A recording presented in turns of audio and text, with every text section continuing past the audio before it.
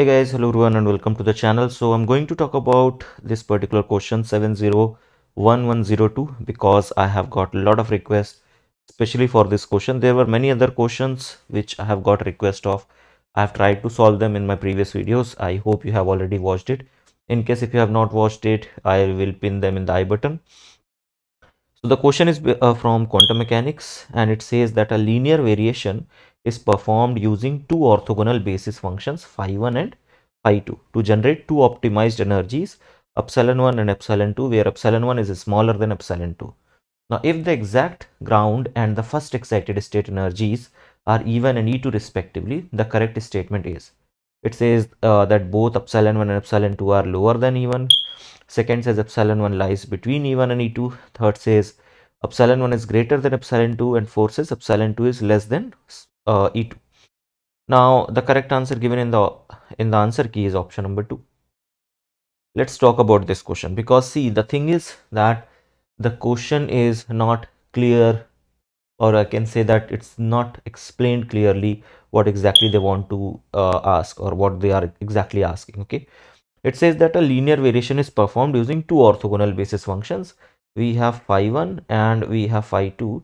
With that, we have created two energy levels. Okay, let's say that phi1 and phi2 are there. And with that, we have created two energy levels. One is epsilon 1 and one is epsilon 2. Now, epsilon 1 is smaller or equal to epsilon 2. Let's consider that they are this is smaller than epsilon 2. That's what we are considering. Now it says if exact ground and the first excited state energies are E1 and E2.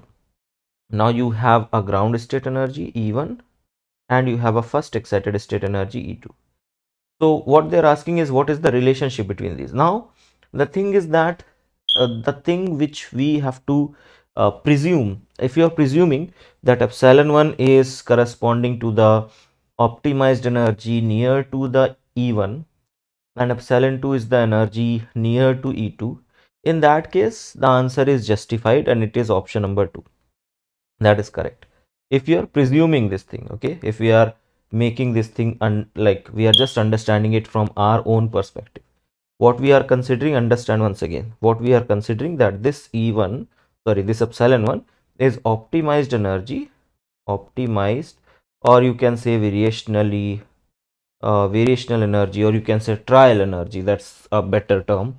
So this is a trial energy uh, uh, level uh, near to near to ground state and epsilon 2 is optimized optimized or you can say trial energy near to near to first excited state okay first excited state so if that is true, in that case, the energy level are going to be in this way. You will be having E1, this is exact energy level and this is E2, this is exact energy level. Epsilon 1 will be always greater than because the variational theorem says that oh, the energy obtained from the optimized uh, wave functions or the trial wave function is always greater than or equal to the exact energy. So here somewhere your epsilon 1 will lie and here somewhere epsilon 2 is going to lie. Okay? Here somewhere epsilon 2 is going to lie. And in that case the answer is correct which says that see both epsilon 1 and epsilon 2 are lower than e1 that's not correct okay? Option 1 is incorrect. Option 2 where says epsilon 1 lies between e1 and e2 that's correct okay? And third says epsilon 1 is greater than e2 that's not correct. And fourth says e2 is small epsilon 2 is smaller than e2 again that's not correct.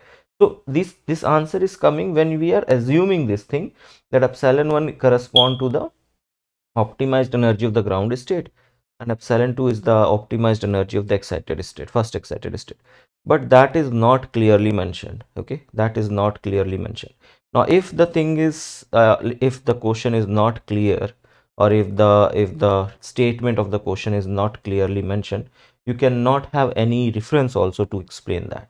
But still this question can be challenged. If you are in if you have attempted this question and want to challenge this question the only thing which you have to say is that you have to write down but first of all about it that the question uh, contains insufficient data or it contains insufficient information regarding the energies of epsilon 1 epsilon 2 that uh, these are uh, optimized energies of whether ground state or excited state or whatever. They have nowhere mentioned. They have just said that it just generate two optimized energies epsilon 1 and epsilon 2 and epsilon 1 is smaller than epsilon 2 they have not said that whether this is for the ground state this is for the first excited state but later they have said that the exact ground and exact first excited state are mentioned are uh, represented by E1 and E2 now see what are the other possibilities? What could happen? That you got two optimized energy levels and both these optimized energy levels. Let's say you got these uh, epsilon 1 and epsilon 2 these are optimized energy levels and both of them are uh, optimized levels and it's not mentioned. So you can consider that both of them are uh, energy levels corresponding like both of them are trial energies and trial energies are always greater than the exact energies. In that case e1 also becomes greater than e2 uh, which is option number 3 that also comes out to be correct. So i think the answer could have been correct if they would have just added one line in the question that epsilon 1 correspond to the ground state or uh, epsilon 1 and epsilon 2 respectively or some word uh, which which is going to suggest that the reference which can give regarding epsilon 1 and epsilon 2 um, it's a tough call uh, whether it can be challenged or not but i will suggest if you have attempted this question you can go for it and you can challenge this question. Hopefully they, it can be accepted okay? Because the question is incomplete i would say. So this i would say is an incomplete question okay? Uh, that's what i believe.